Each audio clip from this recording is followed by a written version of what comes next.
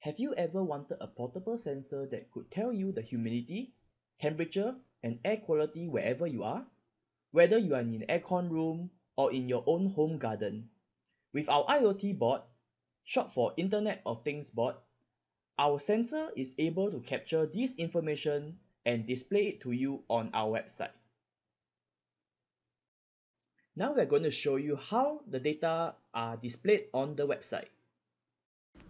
Once you log into your account, you'll be greeted by the dashboard on our homepage, which shows the latest information of the sensor's temperature, humidity, and air quality indicator. The dashboard also showcases the latest information of the current day in the form of charts, so that users are able to track changes of their surroundings throughout the day. Besides observing the trends for the current day, Users are also able to select a particular date to view data, and even filter a specific time period to view the trends. So what if you're on the move and have no time to open your browser, key in the URL, and read the charts from the small screen of yours? Fret not, we got you covered.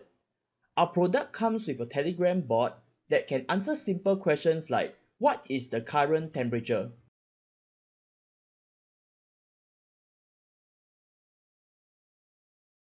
It can also answer more complex questions like what is the lowest or highest humidity on a certain date?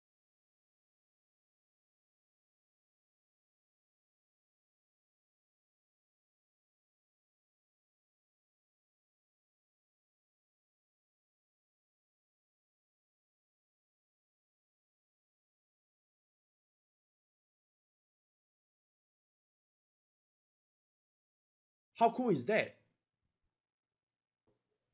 Thank you for listening and we hope that you like our product.